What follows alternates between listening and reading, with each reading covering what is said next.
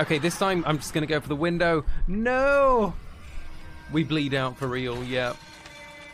Bye bye, Julie. she just flipped around! What the fuck? When you're not a back sleeper, right? When you want to sleep on your belly.